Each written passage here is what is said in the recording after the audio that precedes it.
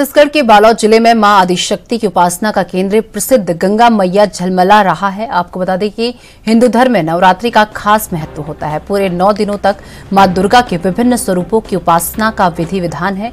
वैसे तो सभी दिन खास होते हैं, लेकिन अष्टमी और नवमी तिथि का विशेष महत्व होता है। इस दिन कन्या पूजन करने की परंपरा है। सनातन धर्म में कन्याओं को साक्षात माँ दुर्गा का स्वरूप माना जाता है। इसी सिलसिले में मंदिर प्रांगण पर कन, विशाल कन्या भोज का आयोजन किया गया था जिसमें पुलिस अधीक्षक डॉक्टर जितेंद्र कुमार यादव परिवार सहित शामिल हुए।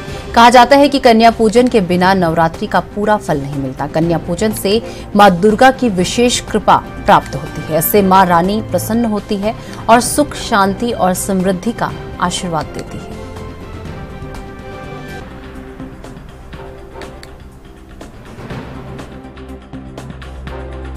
झलमला गंगा मैया का एक, जो यहाँ पे मंदिर है, इसमें बहुत दूर दूर से लोग दर्शन के लिए आते हैं और बहुत बड़ी संख्या में आते हैं।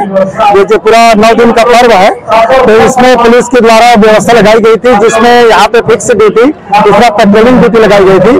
दूसरा, चूँकि ये जो मार्ग है, ये बालोद जाने वाला प्रमुख मार्ग है तो इसमें बड़ी गाड़ी न जाए, इसके लिए यातायात की तरफ़ से बड़ी गाड़ियों को डाइवर्ट किया गया था, जो कुसुम बसा से बाईपास होते हुए पर्की घाट निकलता था। इसी प्रकार से पर्की घाट होते हुए वो गाड़ियाँ लोहारा तरफ़ निकलते। जो मेला परिसर है, इसमें वायरलेस स्टेटिक सेट लगाकर ताकि कम्युनिकेशन बना रहे और एक पुलिस सहायता केंद्र बनाया गया, जिसमें कोई बच्चा या भी गुम गया या उसके परिजन से बिछड़ गया तो वो आके सूचना दे सकते हैं।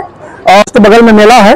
तो वहाँ पे भी कोई किसी प्रकार की कोई दिक्कत ना हो, कोई घटना ना हो, इसके लिए पुलिस पूरी मुस्तैदी से यहाँ पे ड्यूटी कर रही है।